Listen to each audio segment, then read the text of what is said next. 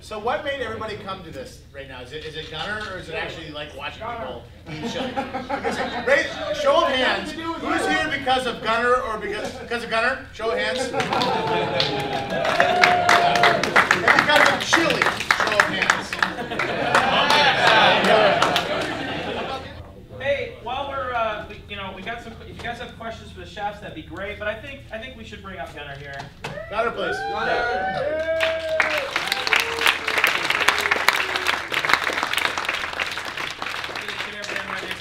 next to Mr. Ricchio. Sit right down. So, if you guys have any questions for Gunnar, if you guys have any questions for the, let's, okay, if you guys have any questions for Gunnar, now is a great time to ask them. Good, no questions. Okay, perfect. Great, great. We're all going home. Yeah, that didn't give us, that gave us plenty of time.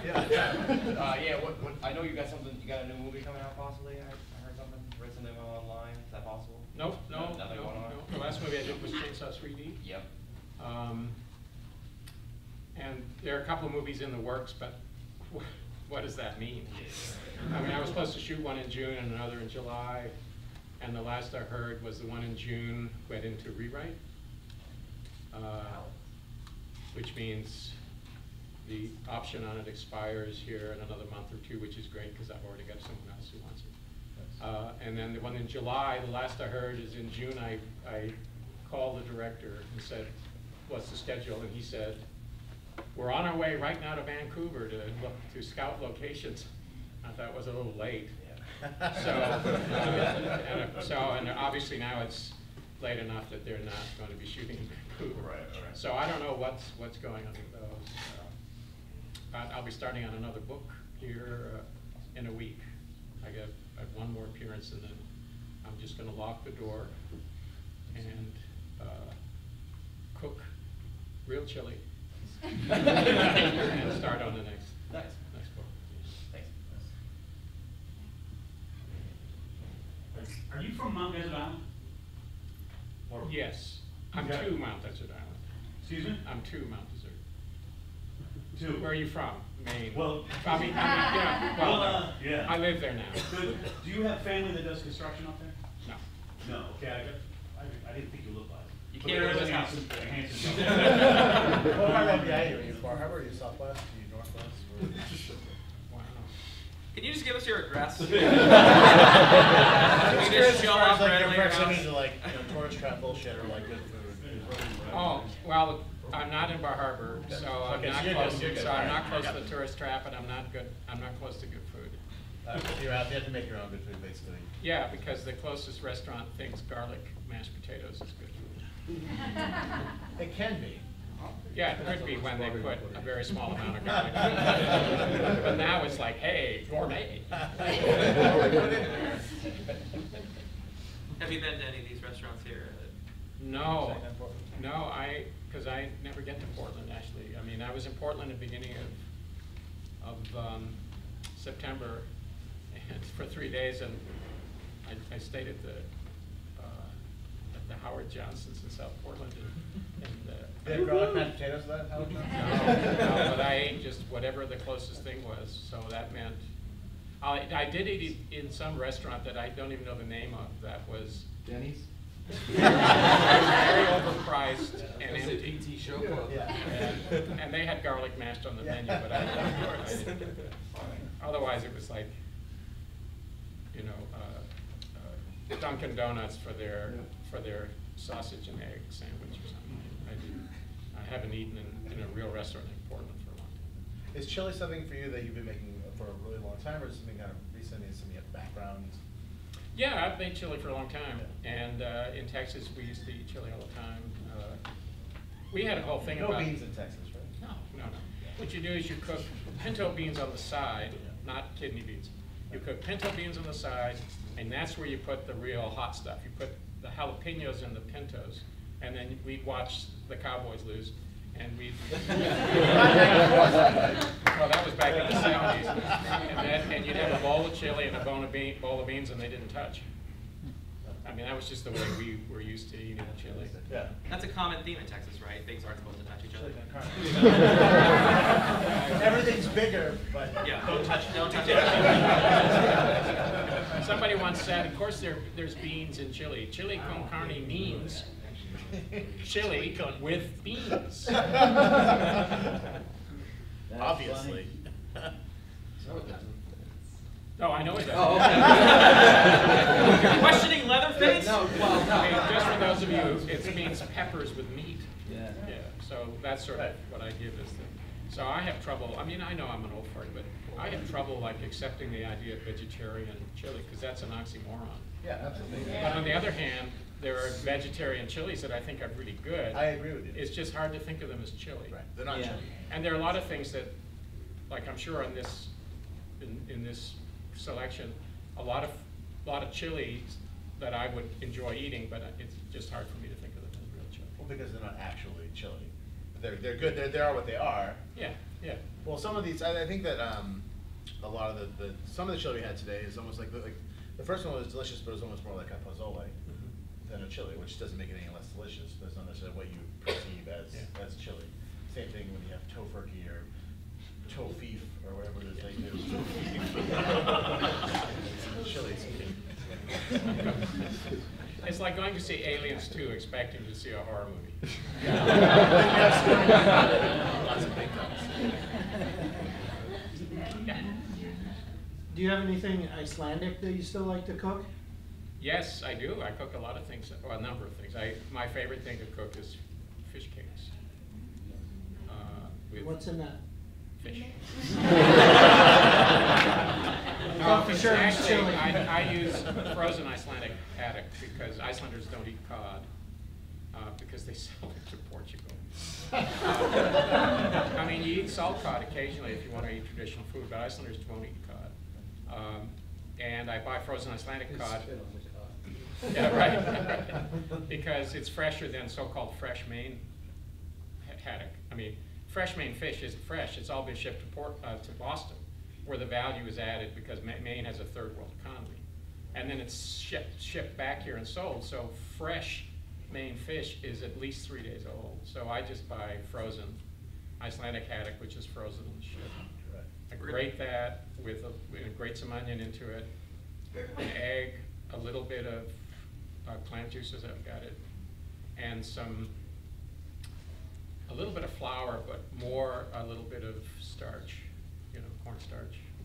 And I just simmer, saute that, scoop it out in spoons and saute it in butter till it's brown on the. It's real simple and a little black pepper in it. You watch that with Brennivín?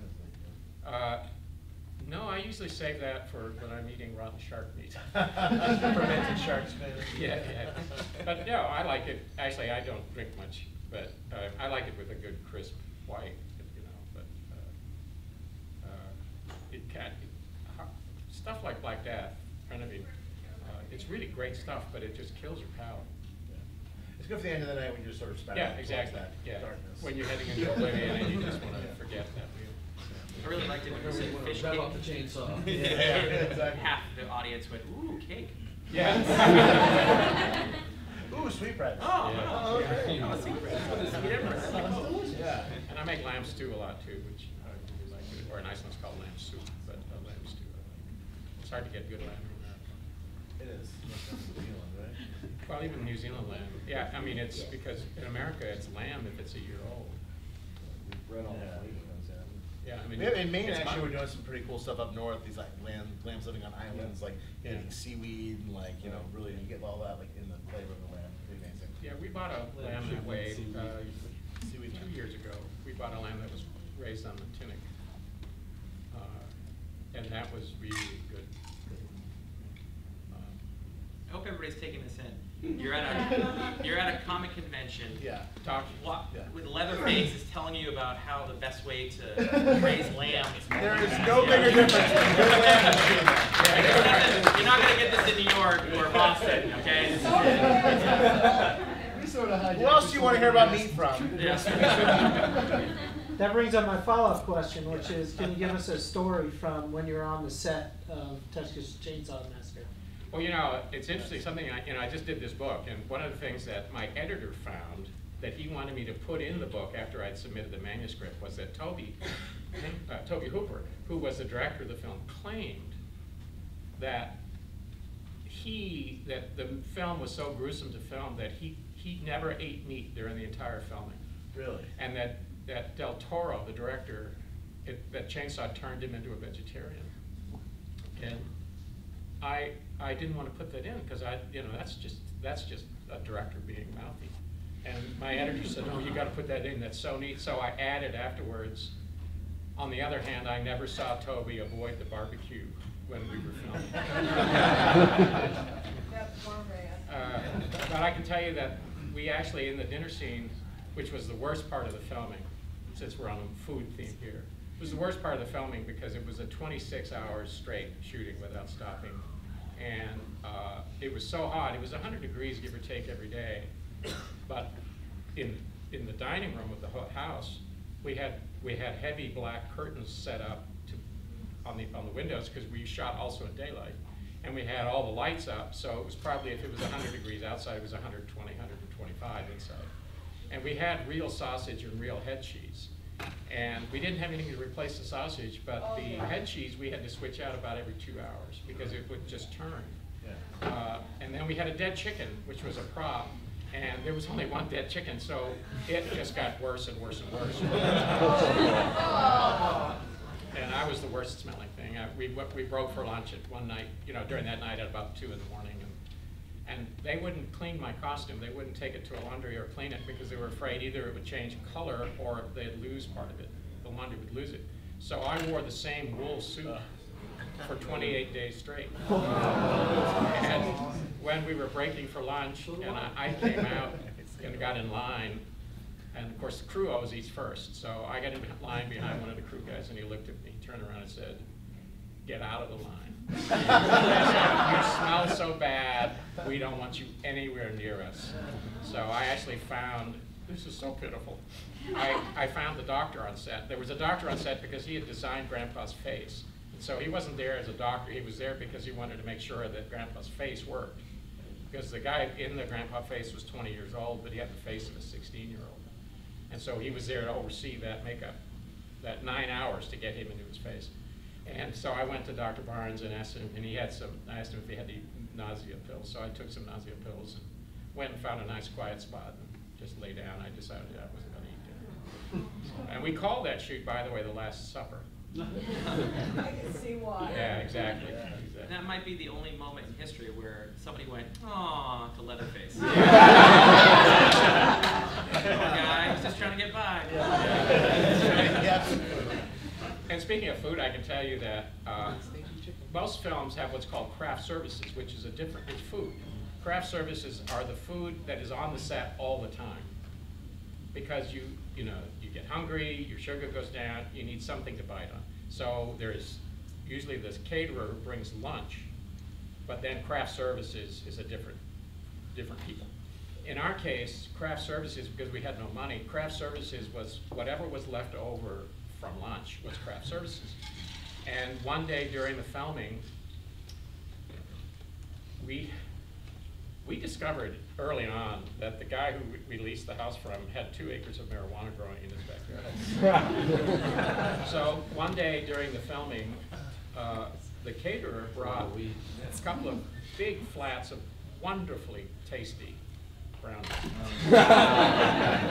And so when we finished lunch and she left, she left the flats because that was all that was left.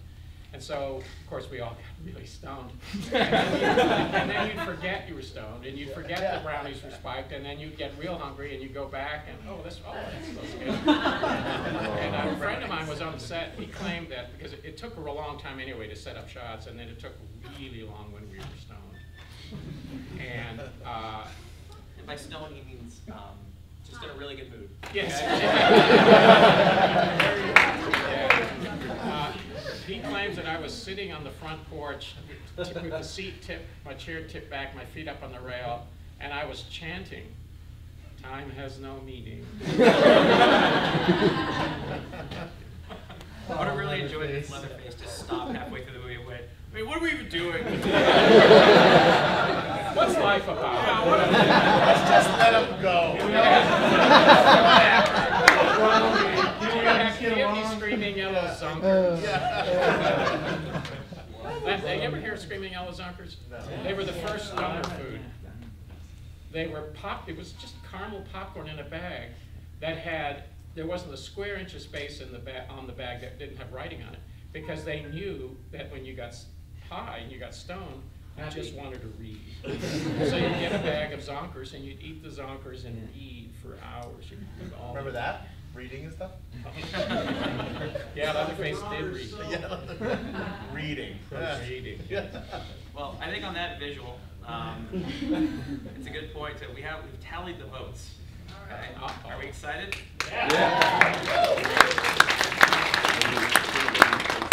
I will say this, it was exceptionally close, okay? Except for, uh, the dog person.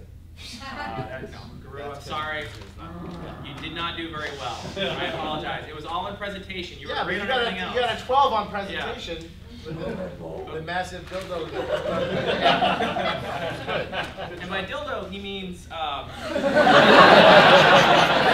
I got nothing. It's actually nothing know. like an actual Ask your dildo. parents, they'll, uh, You gotta go home. yeah, they'll tell you about it. They probably bought one after they Front had row you. Oh. seats. All right, so we have a champion. The first ever Gunnar Hansen Leatherface Chili Cook-Off. And the winner is A2. Oh, no! Oh, sorry. Yes. By the way, you're all still a number to me. I Yeah, I don't know who A2 is. Who is Jim? Jim, you won?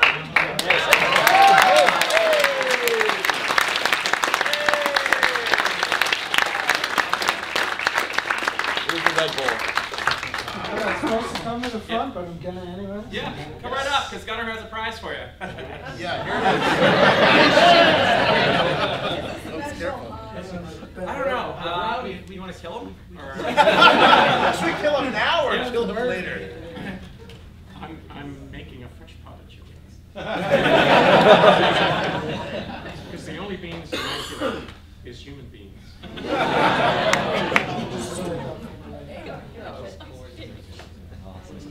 Hold on. Good, second and third place, just so we know. Yeah, That's the problem. No, there is no second and third place. yeah. Alright. You get a picture? You guys ready for Let me this? get a shot. Say Brennivín is my favorite thing in the whole world. It's my favorite is thing. Black Death. Yes, there you go. Take six.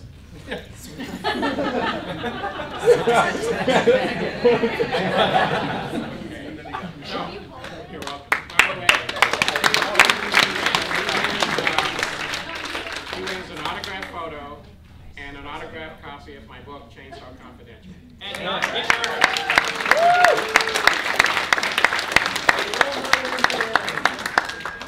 Hey, thank you. Well, you can go sit down. You- you- you can go sit down. What's that? And Jim was the green, he did, uh, d- uh, Colorado style green chili. Yeah, so, Unconventional, uh, yet delicious. everybody did really well. Uh, so let's give thanks to Ryan, Greg. Everybody start applauding. Eric, Gunnar, Ford, Alex, Kip, and April. Uh, everybody did really, really well. Very high scores. Gunnar, you did, you did pretty good. You're right up there. Which one was? Were you the really traditional? Gunnar one? was, Gunnar was A4. That was one where I was like, this is chili thing to me. Yeah, Gunnar did A4. But now, what are we gonna do with the leftover chili? Can we? Eat it, everybody I eat think, it. can I- we have, Do we have some spoons? Spoons and that people can have some? Some chili? up there. But don't tell anybody. Yeah. Yeah, we're gonna keep this a little secret, but if somebody wants to go like do a little, Stonewall Kitchen little back there. dipping, you know, maybe go out back there and do a little dipping with the stuff. And um, Gunnar's got some brownies. Uh, so Joe's thanks got a everybody for coming dildo. out. Hey, let's give a big round of